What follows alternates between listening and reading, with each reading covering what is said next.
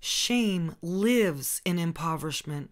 In fact, I'd say the worst thing about poverty is shame. I don't know that I understood poverty before I got to school. I was just a normal little kid running around barefoot on a farm. The animals didn't care if I had on shoes or not, didn't care what I wore or did not wear on any given day, didn't speculate on my worth based on how I styled my hair or did not, didn't care if I had a dirty face either. Once I got to a new school at age 11, it was abundantly clear to me that I was poor. I did not look or dress like any of the kids my age. I remember this terrible, hand me down, ugly as sin, multicolored jacket and slack suit I wore to school on that first day. What 11 year old wears a suit for crying out loud? Everyone else wore jeans.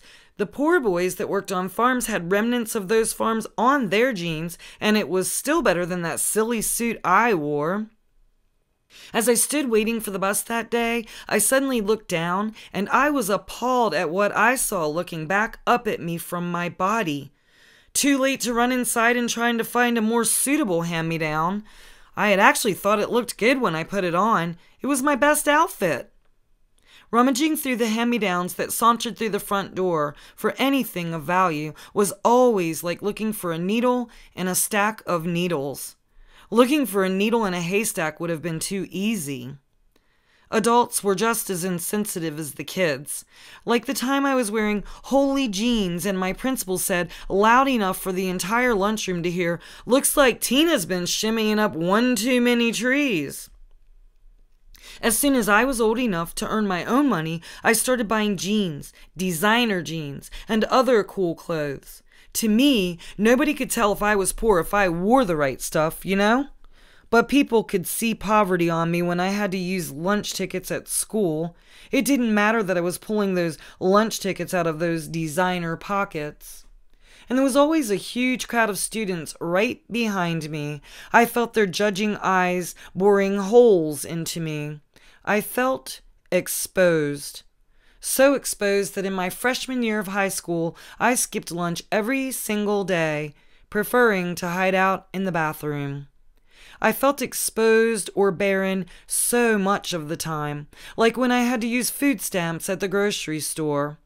The cashier would have a facial expression that said, Ooh, I'm gonna catch something. As if she would contract a fatal disease by even making contact with that paper funny money. She would barely touch it by a corner Sorry, lady, I don't think you can catch poverty, but you have successfully made a child feel completely mortified.